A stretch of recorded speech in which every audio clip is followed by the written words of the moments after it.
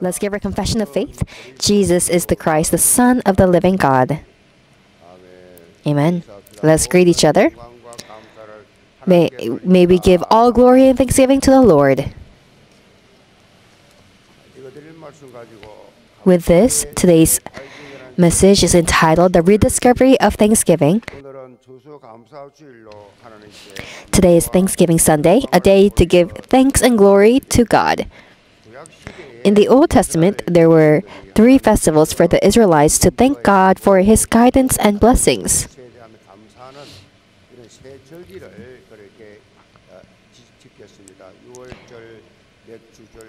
It is the Passover, the Feast of Ingathering, and the Feast of Harvest. And among these feasts, the Feast of Harvest is the Thanksgiving Lord's Day that we celebrate today. Israel harvests three times a year, and these harvest seasons are connected to the three holidays. The harvest of winter barley is the Passover. The harvest of the summer barley and wheat is the Feast of Ingathering. And the harvest of olives and grapes is the Feast of Harvest. The Feast of the Harvest was a time when the Israelites would finish harvesting in the fall and gather their grain, store it in the barns, and give thanks to God for all the harvest that they had at that time. It is also known as the Feast of Tabernacles or the Feast of Booths because of its connection to thanking God for saving and guiding the Israelites throughout history.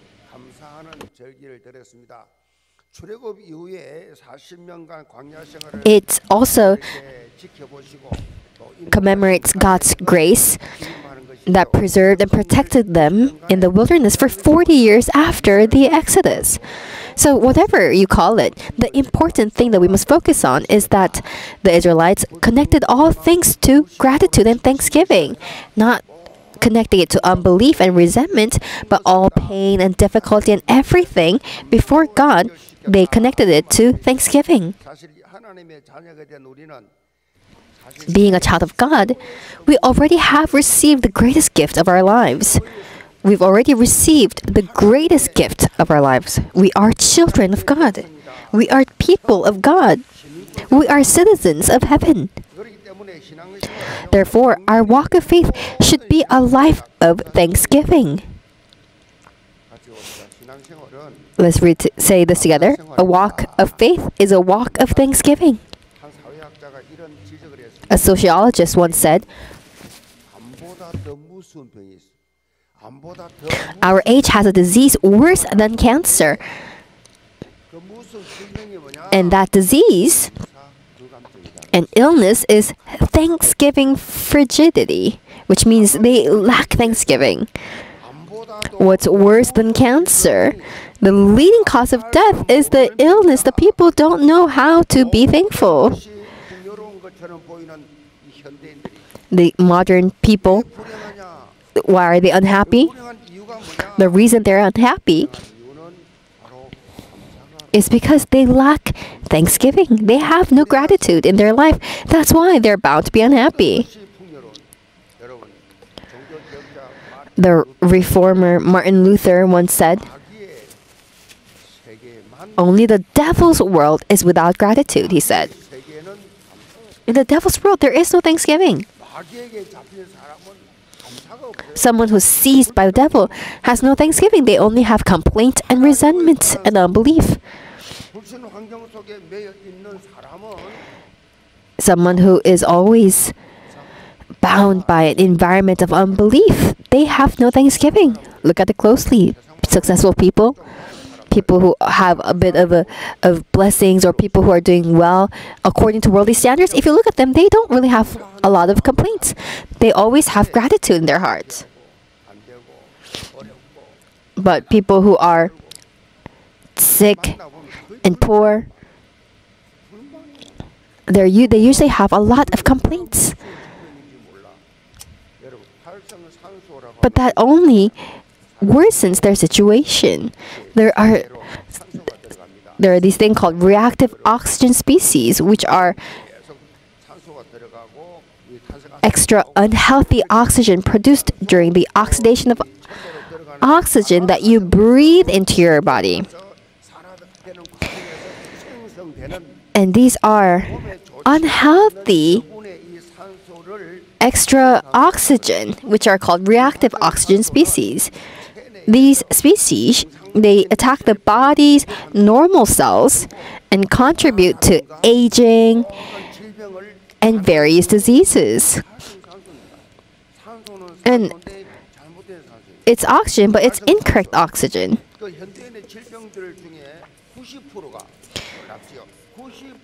And they're so harmful that about 90% of modern diseases have been linked to them.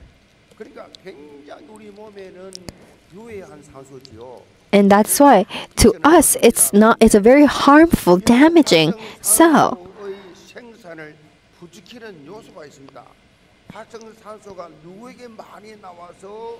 However, certain things encourage their production, things that enhance and increase the, the production of these reactive oxygen harmful species is hatred, anxiety, self deprecation, resentment, and guilt.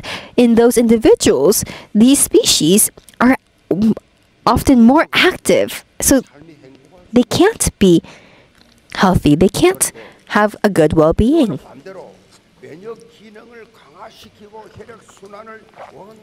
But there is a secret to boosting your immune system, improving your blood circulation, and keeping yourself healthy. And that is a life of thanksgiving. This, these are words of experts. This is all based on research, expert research. So, for you to have that sincere thanksgiving, people who have that are healthy and they don't have minor sicknesses here and there. And even their life goes smoothly. And so, you know, when you live your life, you'd like you'd want to meet someone who's positive, right? Would you want to meet someone who's negative? It goes the same for God. And that is why the Bible continuously, repeatedly talks about a life of thanksgiving. 감사하는 You must live a life that gives thanks. It emphasizes that. 오늘 본문에 보면 우리가 살아오면서 감사할 수밖에 없는 이유를 사도 요한이 In today's passage, the Apostle John gives us a basic and essential reason why we should be thankful. 하는 감사 기준이 What is the standard of your thanksgiving? Is it materialistic things? Is it fame? Is it power? or getting into a good college? Or is it for your business to go well or for you to get employed to a good job or to get a promotion? Or is it a bigger business that you opened up? Yes, those things are means to give thank be thankful for, but those should not be the standard of your thanksgiving because those are bound to collapse at some point. Through today's word, you must realize why we must live a life of thanksgiving as Christians. We must know the true reason for thanksgiving in our lives. May you discover that through today's word. Then, point number one the restored identity. Verse 1 says, See what kind of love the Father has given to us that we should be called children of God, and so we are. The reason why the world does not know us is that it did not know Him.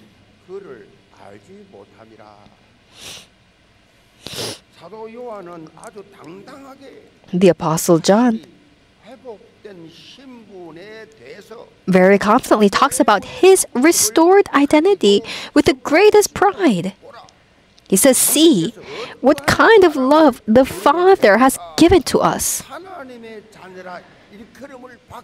that we should be called children of God. John used to be a fisherman a fisherman, now became an apostle and had become a child of God. Empowered by God's great love, we have been given great privilege. No one just worships, but to have to come on a Lord's Day and worship, it is not an average privilege. It is you must be chosen by God to be able to do that. You need to have been predestined and chosen long before creation to come before God and worship. And what, that's why what is Apostle John's confession? He was so moved that he is a child of God. May you have that heart. At first glance, verse 1 may convey a simple message, but the original text of verse 1 reveals much more depth. The phrase, see what kind of love the Father has given to us, uses the word potapen for what great. It is it means an unexpressible amazement and wonder. It means amazement and wonder. That's what it describes. So simply put, if you look at Matthew 8:27, the disciples marveled after Jesus rebuked the stormy sea and made it calm, saying, when there was a storm and and Jesus came on to them and when he said, when Jesus calmed the sea and ocean through his word at that time, what, does the, what do the disciples say? They say, What kind of man is this? Even the winds and the waves obey him.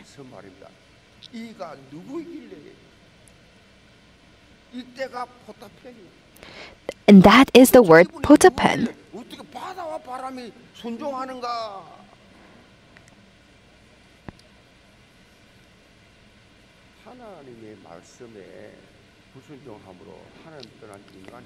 That same word is used here when they were amazed.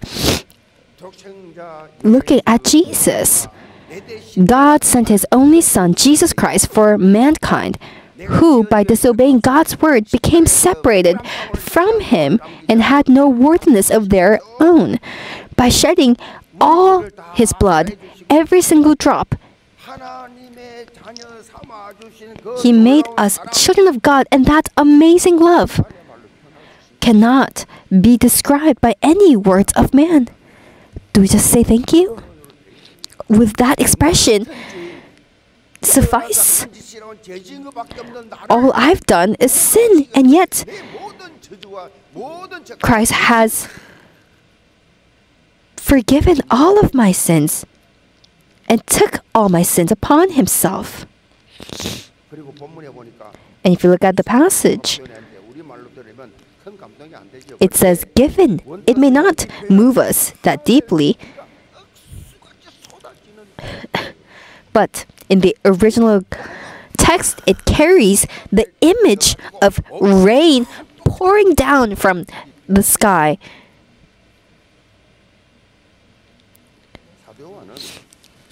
The Apostle John says that God's love has been poured out onto us like torrential rain, completely soaking us.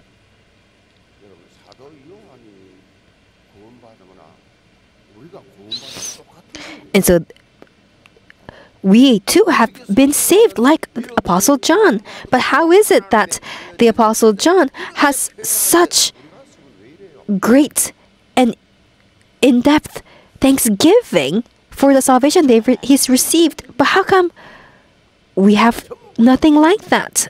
We're all based on the physical and the introductory things.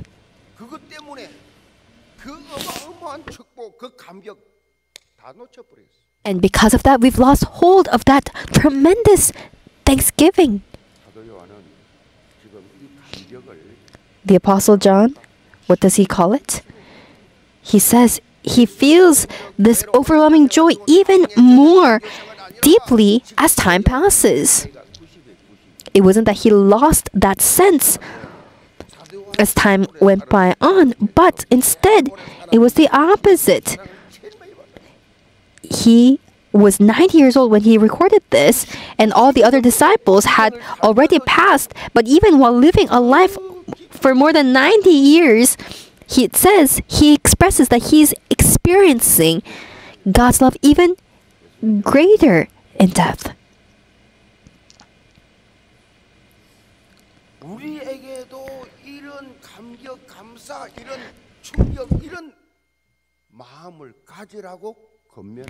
And he encourages us to live with such joy, thanksgiving in for the salvation that we've received with, and if that becomes our standard and if we have such thanksgiving and joy then no matter what problem event or hardship we will not be discouraged or despaired but instead we will face them with faith challenge with faith like eagles mounted on their wings. This is the true reflection of a saved child of God. If you rediscover the value of having become a child of God, then you will instead give even greater thanksgiving in your hardships and trials. And you will shine your light even in hardship, even in hardship. You do not give up and complain and resent, but in that, those hardships,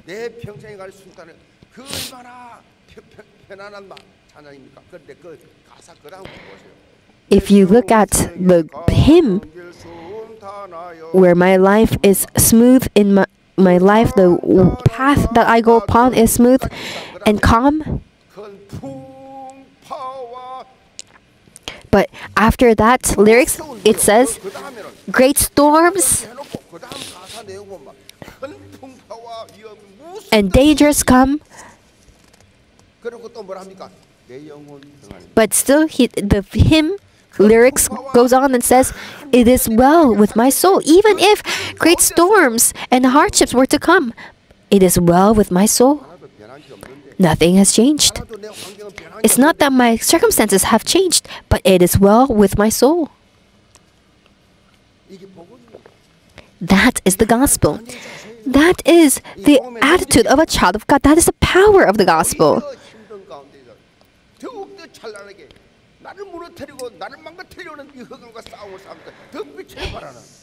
You tackle and address those problems and fight a spiritual battle. May you become people of faith such as that. And there is another word that we must focus on, and that is the word see in verse 1. In Greek, it is idete, which is an interjection. It's an exclamation. But what is interesting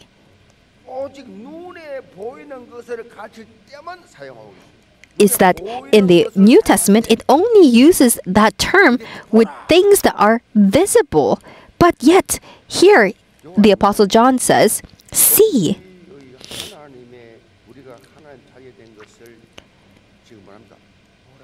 what does the Apostle John say? He says, See that we have become children of God. He proclaims it. He says, See. But unbelievers in the world, they will not know this truth. Unbelievers will not be able to understand this sermon I'm preaching.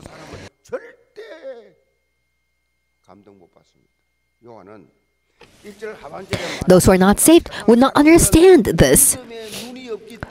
John notes that unbelievers in the world do not understand this because they do not have the eye to see that. Therefore, they do not recognize our new identity because they lack the eyes of faith.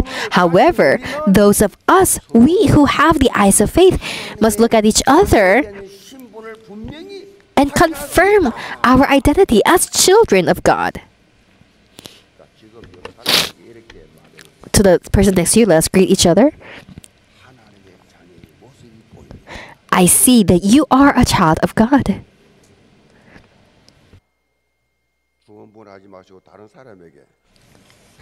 And to don't say to yourself, to someone else, you need to say, I see you are a child of God. Do not be awkward about it, but may you be confident. Confident this wonderful identity that God has given to you. Whether you failed, whether you're sick, whatever circumstances you may be in, it doesn't matter. Who are who am I? May you be strengthened.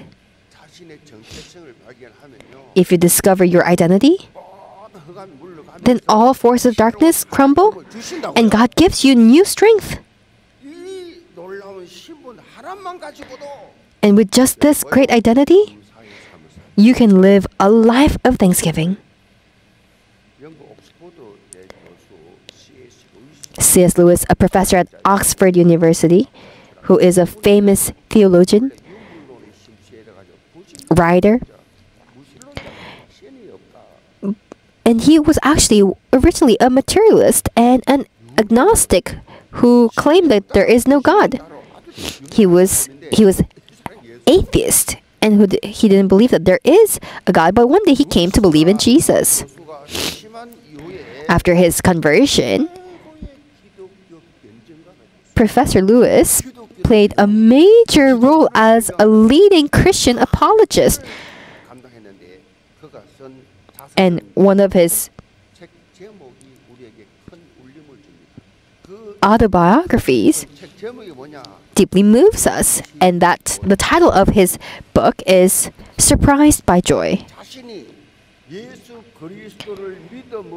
He talks about how by believing in Jesus Christ, how he he expresses his joy, the joy that came to him when he became a child of God by believing in Jesus Christ. The fact that God had chosen him long before creation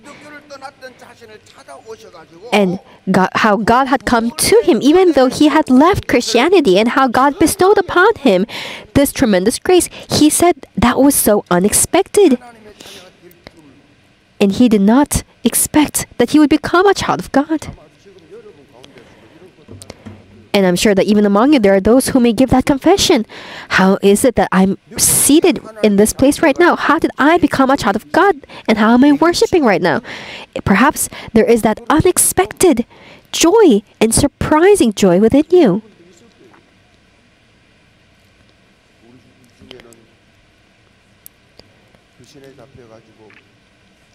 Among us, there are those who used to be shamans possessed by demons and who destroyed all shrines through our shaman camp team.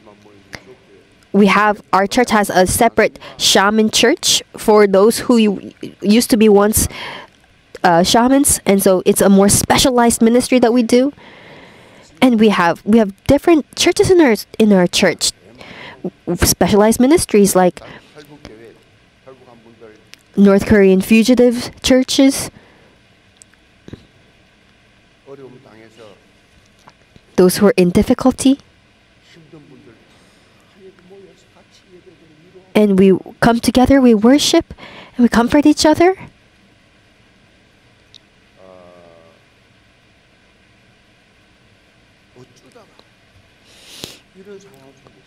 How is it that in this situation I'm able to worship? That surprising, unexpected joy the fact that I'm a child of God. If you have, if you're deeply moved by that, and if you have that joy, now to others, may you share that unexpected joy with others, like C.S. Lewis. And become children of God who relay that joy to others. Point number two is the privilege the privilege of living hope. Let's look at verse 2 to 3. Beloved, we're God's children now, and what we will be has not yet appeared. But we know that when he appears, we shall be like him, because we shall see him as he is. And everyone who thus hopes in him purifies himself as he is pure.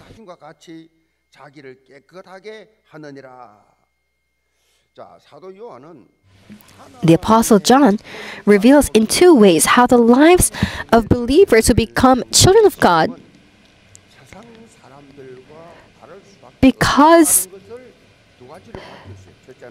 uh, how the lives of people of believers to become children of God are have to become different because of two things, and that's first it is because we have a special we have a special privilege, a special right as children of God and that is that when Jesus comes again, we will be like him, it says. This doesn't mean that we will be just like Jesus, but what that means is when Jesus, in Jesus' second coming, we will, it says that we will also be transformed as glorious bodies. It's a different body it, than what we have right now. At, in that moment, there is no such thing as sickness or disabilities, but we will be transformed into bodies, glorious bodies. And it says, we also in Philippians 3:21, it says that we will also become resurrected glorious bodies, we will completely be transformed. And those who have this living hope of eternity is not swayed by the introduc introductory things of this world. They're not swayed by the words of man. They're not shaken by that. Those things that will disappear in the world, the temporary things, no matter how hard and difficult our situation may be, we must praise God. And praise and give thanks to Him because we have this living hope within us we're only merely living introductory lives. But sh should we be giving up on our lives because of this and that? Should we not be able to enjoy this identity and right because of the introductory things? We now have less than two months left of this year. Enlarge the place of your tent. God gave us this word that will surely be fulfilled, and we've held on to that, and we've also challenged ourselves in faith, holding on to that for the past 10 months. Look at all the covenants, the words of the covenant that God's given to you. After God spoke to you and said, Enlarge the place of your tent. Look at what kind of covenants God has given to you each week. If you go into the internet, it all is all in there. Look at them. What kind of answers you have received thus far? What kind of changes you've met in your life. And may you have the time to give thanks. If you look for things to complain about, then one day your hope disappears. But if you look for things to be grateful about, then despair disappears. People who complain don't have hope. But to people who give thanks, God gives them hope. In a life of thanksgiving, living hope comes upon them, and God allows that individual to bear abundant fruit. And second, children of God should live a different life from the unbelievers of the world because it says, And everyone who thus hopes in him purifies himself as he is pure. Jesus is sinless Therefore, even children of God should live purely without sinning, just as Jesus had done. However, despite the principle that believers should not sin, we are still human beings who have the possibility of sinning because we live in a world of unbelief where sin is rampant. And that is why the Apostle John gives an additional explanation in verses 4 to 6. Everyone who makes a practice of sinning also practices lawlessness. Sin is lawlessness. You know that he appeared in order to take away sins, and in him there is no sin. No one who abides in him keeps on sinning, no one who keeps on sinning has either seen him or known him. You must understand and interpret this word correctly. And what that means is those who are in Christ Jesus may sin. They might sin, but they cannot continue repeatedly sin, like habitually sin. For example, someone who continuously steals in their place, in their workplace, and they continue to to steal just because no one knows in their at, at, in their job, then those individuals are not children of God. Because you're continuously practicing sinning. If you continuously sin, then that is not. If you continuously commit crimes, then that individual cannot be called a child of God because for a child of God, they do not continuously commit sins, nor do they despair because they've committed a crime, but they repent through Jesus Christ. And it said that the reason Jesus came was to destroy the works of the devil that leads us to sin. And therefore, may you call upon and rely on Jesus who has destroyed the devil. And therefore, we must not repeat a life of sinning. The story contains an important spiritual truth that allows us to obey God's word.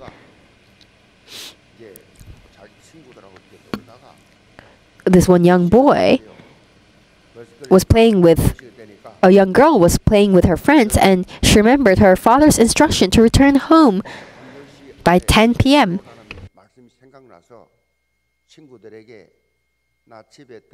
So she told her friends that she needed to go home. And she said, Oh, my dad said I need to come home until 10. And uh, her friend, her friends teased her, saying, Are you afraid of your dad? And the girl replied, no, it's not because I'm afraid of him, but because I love him. Because I love my dad. It's because I love my dad. There's an important spiritual truth in here.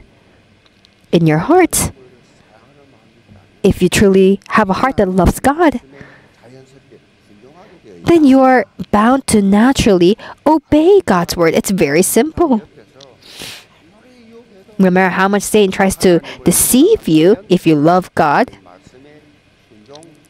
then you will obey the word of God. Not because you you fear punishment or because of some guilty conscience, not with some type of legalistic mindset. You must break free from that. Oh, because I'm afraid of being punished or because I feel guilty or because of my legalistic mindset. No. But instead, it is because we love God. Amen. Because you love God. That's where it must start. Because you love God. Because I'm so grateful that He has given me this living hope. May you obey God's word and have that nature of thanksgiving.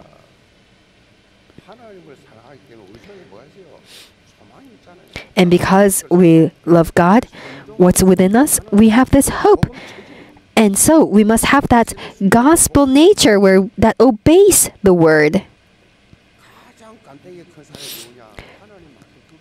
And so the individual who, the most daring individual, is the one who disobeys the word of God, or those who try to destroy the church of God. Those are very daring individuals.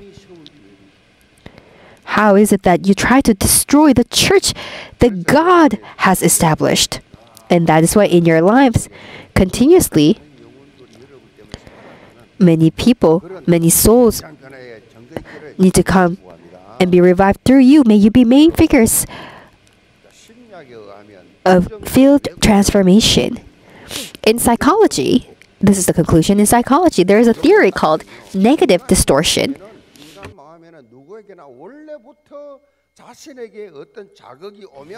According to this theory, the human heart naturally perceives incoming stimuli negatively rather than positively. So, what that means is to any outward to any outward influence, most people have negative thoughts that come to mind rather than positive thoughts. And the fundamental reason of that is Genesis 3. D due to the sin of Adam that was that he committed in Genesis 3 because we're all born as sinners and because we are born with that sinful nature, we are we are more persuaded and convinced by negative words and it is also that we instead live a life of negativity instead of positivity. We're more inclined or we're more familiar with that.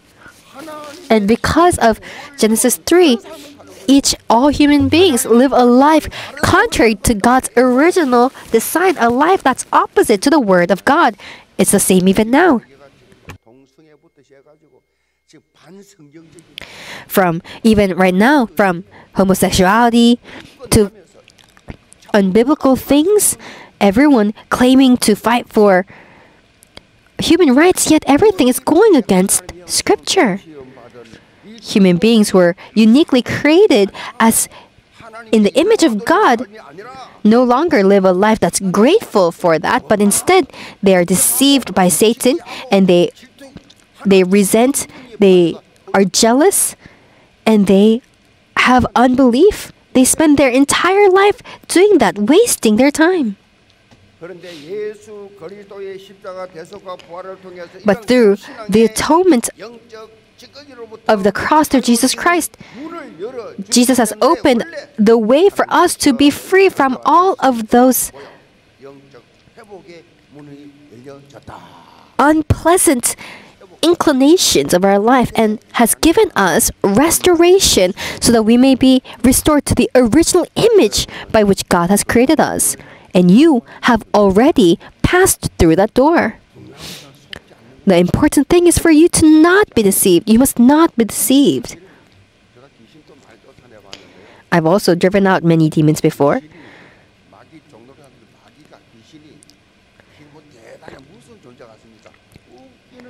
And so, but this the demon is not even some it's not some this tremendously scary individual, but they always put on jokes, tricks. And but people are attacked by that. But when you command them in the name of Jesus Christ, they tremble in fear. They tremble in fear. And so when you call upon the name of Jesus, they tremble in fear. They're nothing. And so when they when they work upon individuals and they start twisting their bodies or have these outward signs, it might seem like they're fearsome beings, but they're only playing tricks. They're nothing. Do not be deceived.